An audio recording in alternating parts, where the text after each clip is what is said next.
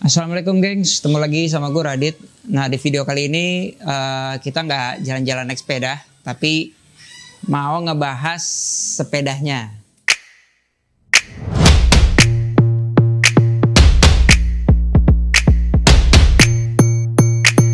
Jadi uh, kalau lu lihat di beberapa video gue, di konten-konten gue tuh uh, ada beberapa kali gue menggunakan sepeda ini.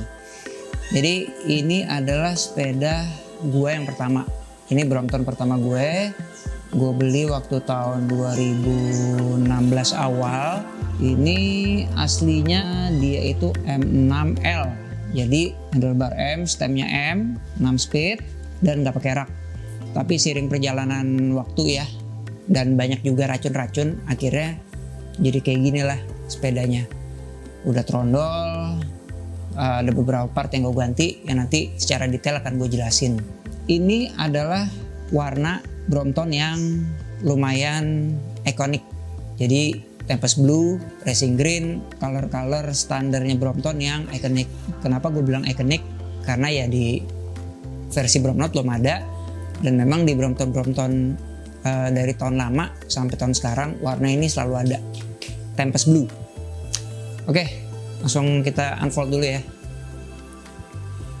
Oh iya karena juga memang basicnya sepeda ini dari awal emang udah titan. Tadi gua ralat di depan ini sepeda uh, basicnya adalah M6LX nah X itu kalau di Brompton adalah versi titanium. Udah cukup lama gue pakai ini sepeda gue belajar banyak tentang Brompton dan gimana caranya ngerawat dan ngebongkar dan nyervis sepeda ini dari sepeda ini jadi boleh dibilang ini sepeda kalau di komunitas itu signature bike gue banget dan sampai sekarang gue masih sangat aktif pakai ini sepeda. Dan sepeda ini gue pakai untuk uh, back to work. Jadi gue sesuaikan upgrade yang gue pakai untuk back to work. Jadi yang nggak nyusahin di jalan, justru ada beberapa part yang akan ngegampangin gue ketika menggunakan sepeda ini sebagai sarana transportasi. Salah satunya yang pertama adalah rims. Jadi uh, sengaja untuk yang satu ini gua nggak pakai rims yang karbon yang yang yang tebel-tebel gitu ya. Kalau misalkan teman-teman yang suka perhatiin kan ada tuh sepeda balap, eh road bike atau uh, sepeda lipat yang rimsnya tebel. Gue menggunakan rims yang biasa. Ini bikinan dari Joseph Wosak. Ini bahannya alloy. Jadi kuat lah ya kalau untuk dipakai setiap hari karena wheelset standar Brompton juga alloy. Nah bagusnya wheelset ini tapaknya tuh lebar, lebih lebar dari JK yang karbon, lebih lebar dari apa uh, wheelset standar, lebih lebar dari Hubsmith, lebih lebar dari Andoza. Dan ini cukup kuat. Jadi kalau misalkan teman-teman lihat ya, ini kayaknya kan bannya gemuk ya ini bukan karena bannya salah ukuran, tapi karena memang bawaan rimsnya itu lebar. Jadi bikin kayak apa sih uh, bannya jadi kelihatan gemuk gitu, jadi kayak bobber kalau misalkan di Harley. Itu yang pertama, karena menurut gue wheelset ini penting. Wheelset itu karena dia kan berputar depan belakang, udah gitu kalau uh, dari hub depan ya udah banyak yang tahu lah kalau Joseph Kawasaki itu dia punya bearing bagus, loncer banget, jadi kenapa gue pilih ini dan gue suka banget brand ini? Sebenarnya wheelset ini ini wheelset 2 speed. Tapi karena untuk commuting gue lebih milih untuk tetap menggunakan di 6 speed. Kenapa? Karena gue punya range tingkat percepatan yang bisa disesuaikan sama jalur yang gue tempuh. Nah karena gue juga uh, kalau gue itu mengandalkan cadence ya ini gue menggunakan sensor cadence di sini. Gue taruh di left arm sepeda ini. Ini gue menggunakan magin. Jadi gue bisa ngukur cadence gue lewat jam apa ya smartwatch ini ya. Ini sebenarnya smartwatch atau sportwatch ya? Garmin lah pokoknya. Ini chainring gue nggak gue ganti. Ini masih chainring bawaan Brompton. Ini 50T sedangkan untuk cok belakang yang dua biji ini gue juga masih menggunakan 13 16 yang bawaannya Brompton juga. Jadi memang khusus sepeda ini gue sama sekali nggak mengganti drivetrain. Kenapa? Karena supaya masih berasa Bromptonnya lah kalau gue pakai komuter.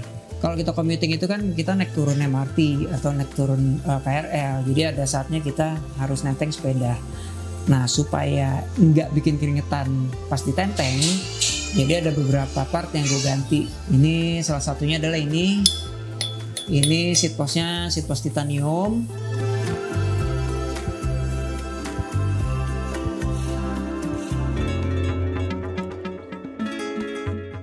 Dan untuk sadelnya gue menggunakan Brooks yang B15 ini juga lumayan enteng.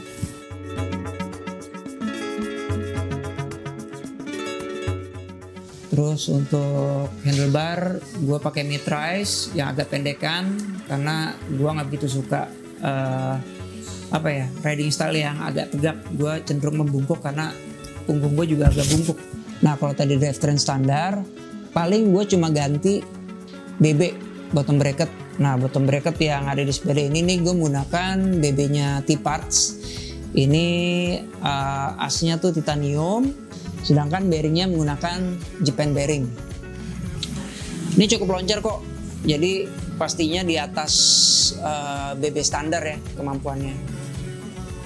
Nah, terus kalau kita commuting itu kan ada saatnya kita ke stasiun atau kita ke apa kita harus nyebrang jalan atau ke mana pun lah ya jadi ada kalanya sepeda ini nggak digenjot tapi ditenteng nah supaya nggak bikin keringetan ketika nenteng gue mengganti beberapa part yang cukup ringan jadi salah satu adalah hinge clamp dibanding standar Brompton yang pakai plastik. Gue ganti dengan hinge clamp yang dari titan.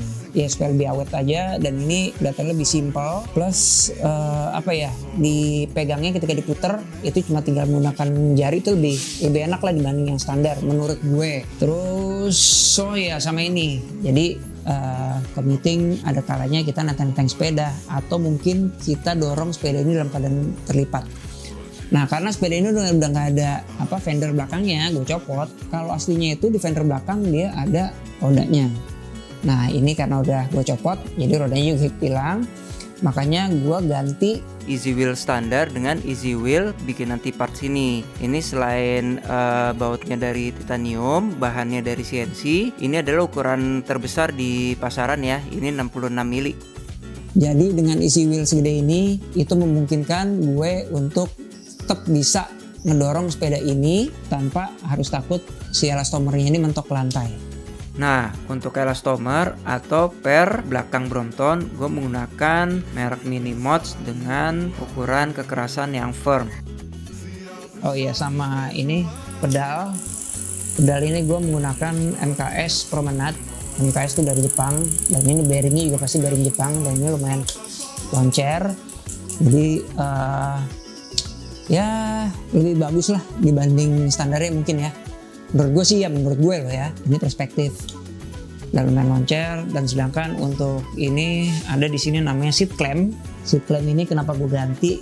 Karena bawaan standar Brompton apalagi yang tahun muda itu seat clampnya gampang banget selek ya plastiknya.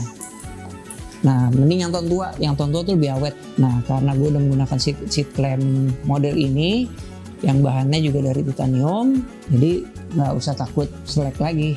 Terus di sini di sini ada namanya e-hook nih. Nah di e-hook ini gue menggunakan e-hook uh, aftermarket. Ini dari Esofix. Sebenarnya banyak sih merek yang yang agak premium ya HNH atau apa gitu-gitu cuma menurut gue sama aja fungsinya sih itu lebih pada estetika aja. Tapi ini juga nggak nggak kalah bagus sih Esofix. Uh, terus untuk ini ini namanya cable disc. Cable disc ini gue uh, pasang karena kalau gue belokin seperti ini gue belokin patah nih sepedanya itu apa outer outer kabel rem depan itu pasti akan mentok ke roda. Dengan adanya si ini si kabel disc itu akan narik akan ngarahin apa uh, kabel kabel lu tuh ke atas. Jadi menjauh dari si roda. Terus setelah itu ini ini adalah nih sensor untuk kecepatan. Yang belakangan udah jarang gue pakai karena gue mengandalkan sensor kecepatan di jam. Untuk headset. Nah kebetulan headset yang gue pakai di sepeda ini adalah dari Tange Tange Japan Ini udah ball bearing dalamnya dan ini versi yang lightweight.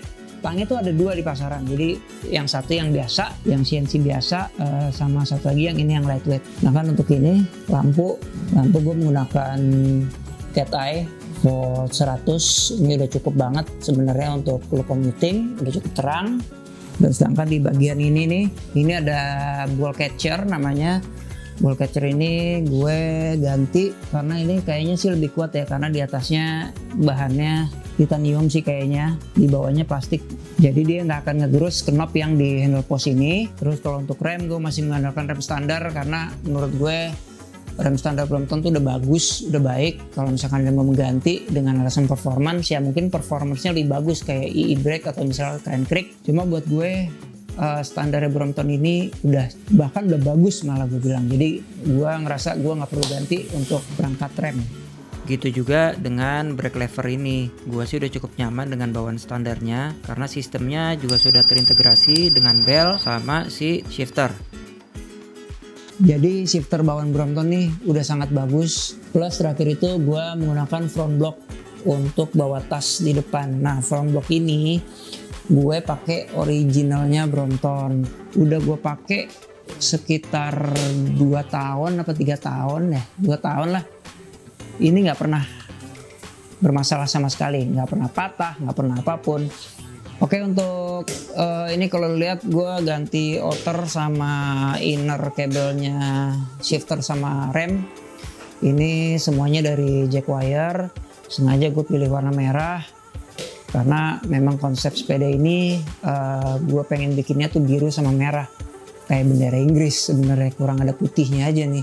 Nah untuk tensioner, tensioner ini gue juga masih menggunakan standarnya sepuli-pulinya.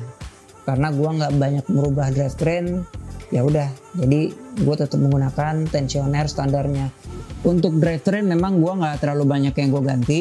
Uh, paling ini rantai rantai itu gue menggunakan sistem yang bukan sistem sih model yang half hollow ini warna silver uh, kenapa gue ganti karena lebih pada bobot aja sih supaya kalau diangkat-angkat ngurangin bobot dikit plus sama ini apa uh, crank. Jadi crank ini gue menggunakan crank yang terbuat dari bahan CNC. Ini dari Esofix. Jadi ini ini kayaknya crank sejuta umat di Brompton atau sepeda lipat lain ya. Tapi crank ini sangat enak sih menurut gue karena dia itu lurus. Jadi kalau kita lihat dari sisi sebelah sini nih ke sini, cranknya tuh lurus. Sedangkan kalau cranknya Brompton tuh agak nekuk Nah, gue tuh lebih seneng crank yang lurus. Nggak tahu kenapa. Jadi uh, ini adalah versi yang CNC. Jadi walaupun ini apa ya seribu umat, crank seribu umat, tapi memang sengaja gue pilih yang silver chrome kayak gini karena memang temanya sepeda ini silver. Walaupun ini crank sejuta umat, tapi di pasarannya ada dua. Yang satu CNC, satunya lagi terbuat dari bahan alloy. Nah yang CNC ini yang bobotnya lumayan ringan dibanding sama standar Brompton. Supaya nggak goyang-goyang waktu diangkat, gue ganti si tube stopper dengan model palutor dari HNH Studio. Jadi mudah-mudahan video ini berguna dan bermanfaat buat teman-teman yang mau ngupgrade Bromptonnya yang sesuai dengan peruntukannya aja. Uh, kayak ini contohnya uh, gua nggak terlalu banyak upgrade. Gue upgrade yang memang penting-penting aja buat gue untuk meningkatkan kenyamanan dan utilitas dari sepeda ini sendiri. Karena ini sepeda bener-bener udah gue jadiin alat transportasi oke sampai sini aja videonya. Sampai ketemu di video berikutnya